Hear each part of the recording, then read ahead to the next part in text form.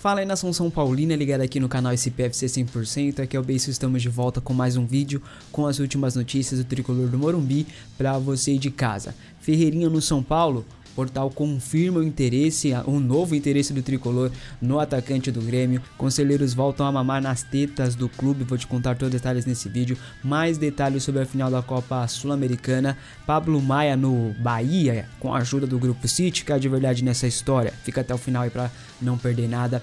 Reinaldo abre o jogo sobre o seu futuro no futebol no São Paulo. Tudo isso e muito mais te conta a partir de agora. Se você se interessou, fica até o final, não sai por nada. Deixa o like que ajuda muito no crescimento do canal. Se inscreva se não for inscrito e ative a sininho para receber as notificações de novos vídeos para você não perder nada do que rola no mundo do tricolor do Morumbi e nenhum vídeo aqui deste canal.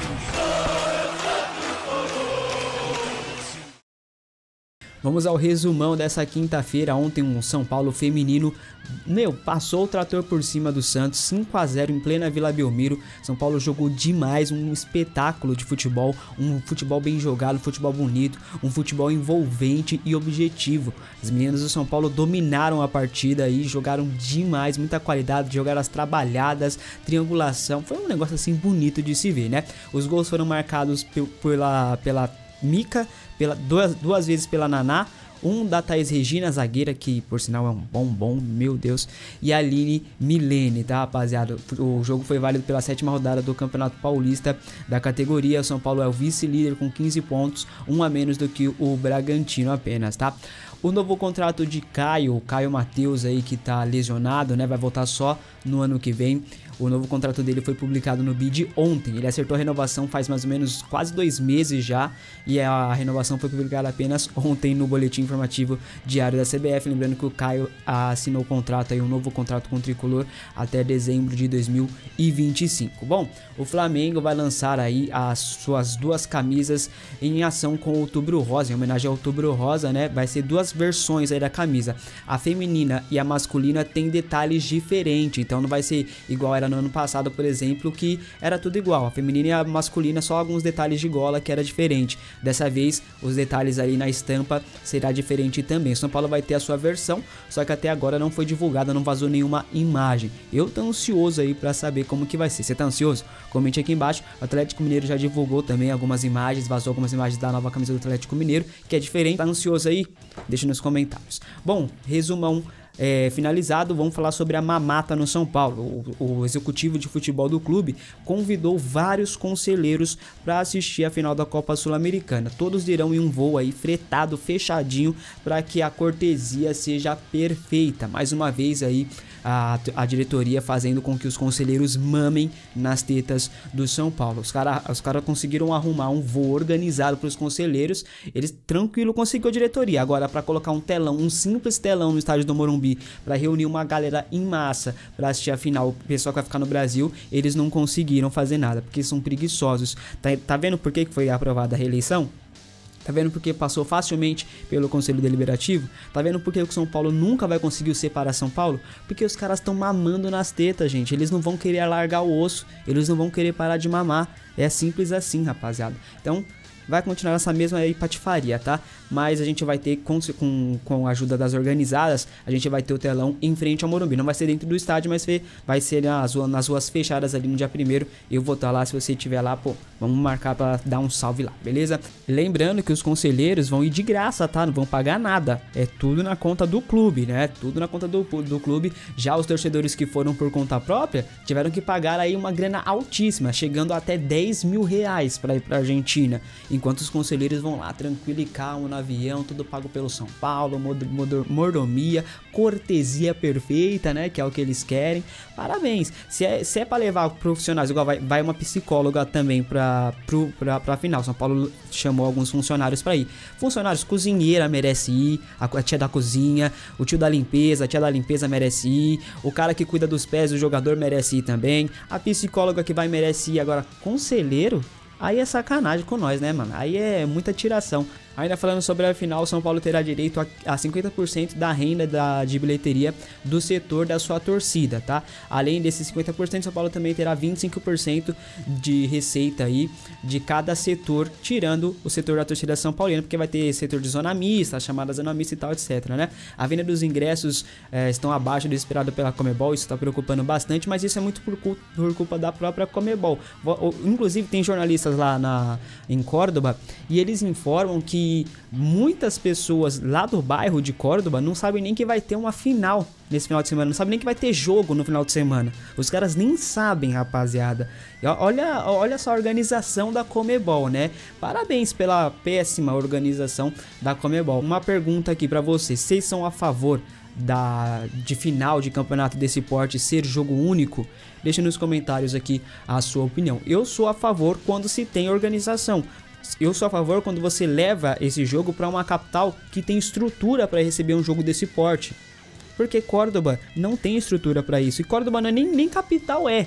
Se você leva o jogo para Buenos Aires, é outra história. Vamos lá no Monumental de Nunes? Beleza, show de bola. Agora você vai levar lá para Córdoba, onde não tem estrutura, não tem voo direto, não tem ligação, não tem nada, gente. Não tem hotel pro povo se hospedar.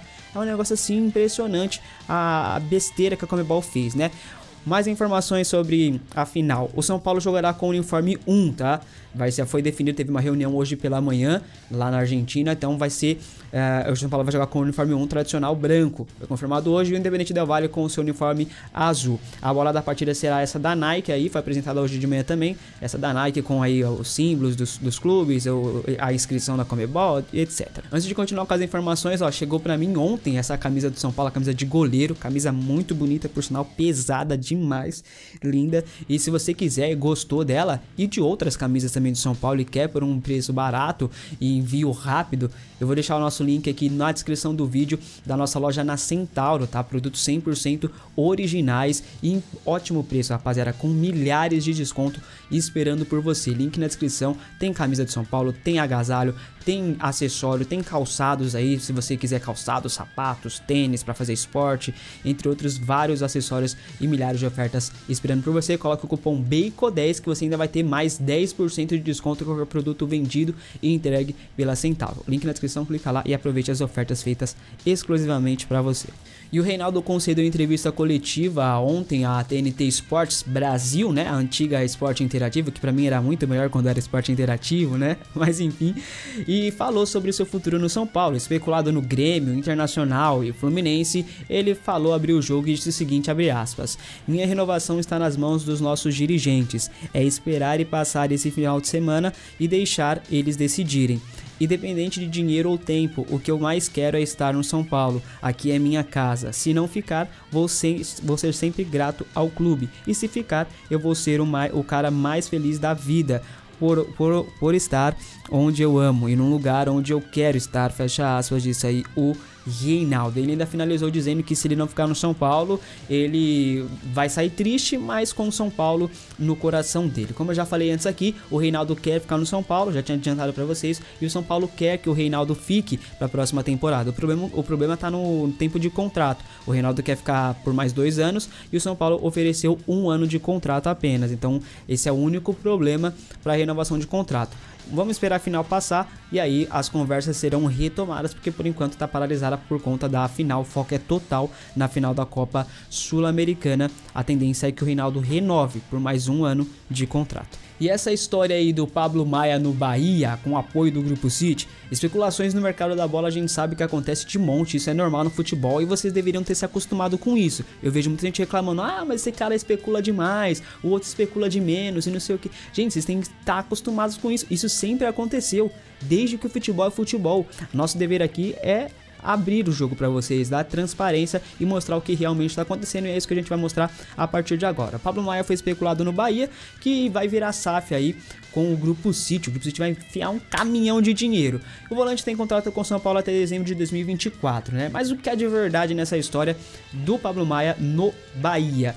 Absolutamente nada, rapaziada. Foi só especulação aí de torcedor nas páginas e tal, que foi ganhando força, porque isso sempre acontece também, mas não tem absolutamente nada. Inclusive, o empresário do jogador, o Júnior Pedrosa, falou ao Jorge Nicola sobre essa possibilidade de o seguinte, abre aspas, não tem fundamento nenhum essa notícia, fecha aspas. Lembrando que a multa rescisória do Pablo Maia está na casa dos 100 milhões de reais para clubes nacionais. Para clubes internacionais, então, deve ser muito mais. Só que ninguém vai pagar esse valor por um volante, né? Isso a gente sabe é mais para se proteger aí da, dos interesses de clubes de fora do país, tá? Embora, embora o Grupo City vai injetar uma baita grana no Bahia, eles não vão pagar também um valor tão alto pelo Pablo Maia. E se o Pablo Maia sair do São Paulo, a expectativa é que ele vá para a Europa. Já vem recebendo até sondagens de clubes europeus é daqui para a Europa. Esses meninos, Igor Gomes, Luizão, Pablo Maia, não vão sair daqui para jogar em futebol brasileiro, gente. Eles vão sair e vão para a Europa, já era. Segundo o portal Mercado da Bola, Ferreirinha voltou a estar na mira do São Paulo para a próxima temporada. Esse portal afirma que o jornalista Sérgio Boas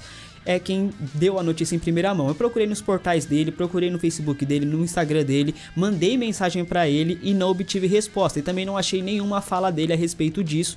É, então não sabemos se é verdade ou não, se é boato, mas a gente sabe que já teve o interesse do São Paulo no Ferreirinha, não se concretizou, não virou realmente uma negociação tão forte por conta dos altos valores pedidos pelo Grêmio. O Grêmio pede, pede cerca de 12 milhões de euros para liberar o Ferreirinha que tem contrato até dezembro de 2024 no tricolor gaúcho, né? A contratação do Ferreirinha tá mais para um sonho do que para uma realidade.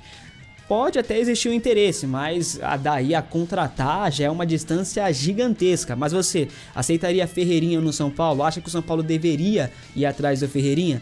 Comente aqui embaixo, obrigado por ficar comigo até aqui. Se gostou, deixa o like, se inscreva se não for inscrito. Forte abraço, até o próximo. Eu fui.